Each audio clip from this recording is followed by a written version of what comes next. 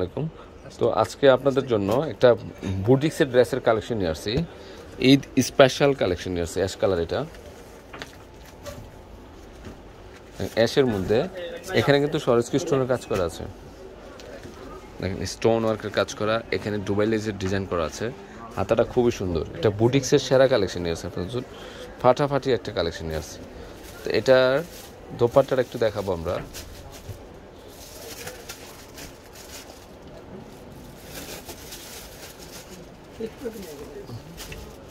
দেখেন এটা এটা কম্বিনেশনটা খুব সুন্দর। তো এটার প্রাইস থাকতেছে মাত্র চোদ্দোশো টাকা। তো আমি এটা আরেকটা কালার আছে, ওই কালারটা খুলে দেখাবো আপনাদেরকে কফি কালার এটা হচ্ছে কফি কালার হুম।